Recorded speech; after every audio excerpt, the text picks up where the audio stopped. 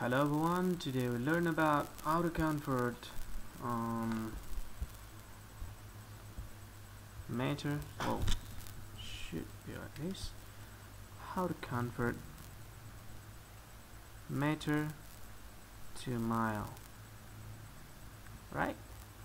Now, before we start in our example question, for this conversion you need to know that 1 meter is equal to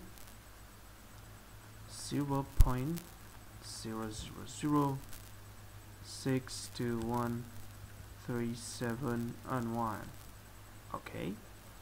Now for example I want I want to convert um, 1000 meter into mile. So I want to know uh, how long does uh, amount took it took in a mile unit uh, for 1000 meter? Okay.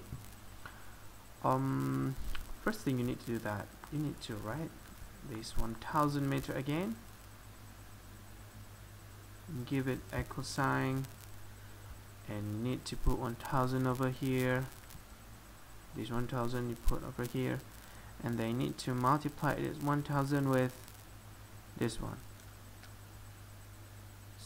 0 0.621371 mile. Right?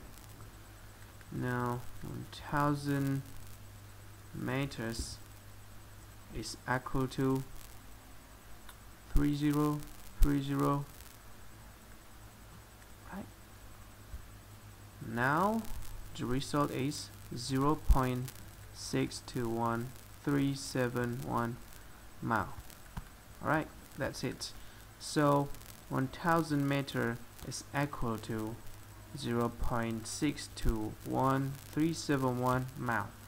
Well thank you for watching and I'll see you in another conversion you need to try out. Thank you